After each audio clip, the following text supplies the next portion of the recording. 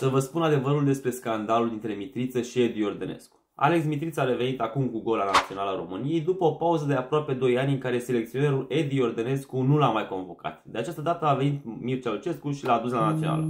O să mă întrebați acum de ce n-a mai fost convocat Mitriță în ultimii 2 ani, deși de fiecare dată a fost în topul celor mai buni jucători din România. Mitriță a avut mai multe neînțelegeri cu Edi Ordănescu, dar și cu colegii de la Național. Haideți să le luăm pe rând. În primul rând, din informațiile venite din cadrul clubului, Mitriță, când venea sub tricolor, avea anumite arfe, să le numim așa.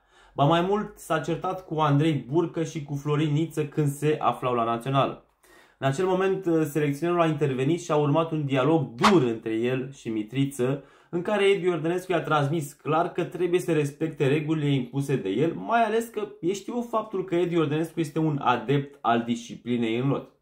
Un alt episod incredibil s-a întâmplat după un meci, când Mitriță n-a jucat prea mult pentru națională și le-a transmis pur și simplu noaptea secunzilor că el pleacă din cantonament. Asta se întâmpla înaintea unui meci cu Muntenegru. Prospor scria la momentul respectiv că doar o discuție cu Mihai Rotaru l-a făcut pe Mitriță să se răzgândească și să înțeleagă că trebuie să rămână totuși în cantonament. Însă, din acel moment, Edi Ordănescu n-a vrut să mai audă de Mitriță și de convocarea sa la națională. Voi ce părere aveți? Merita convoca Mitriță la națională chiar dacă avea anumite acte de indisciplină?